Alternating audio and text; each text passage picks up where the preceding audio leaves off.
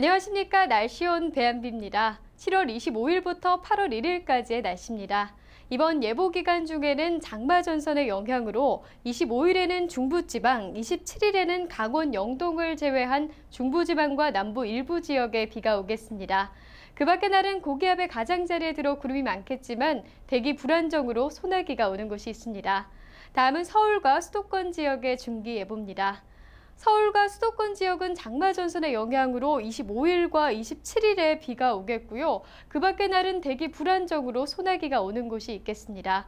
기온은 평년과 비슷하거나 조금 낮겠습니다. 중계보였습니다.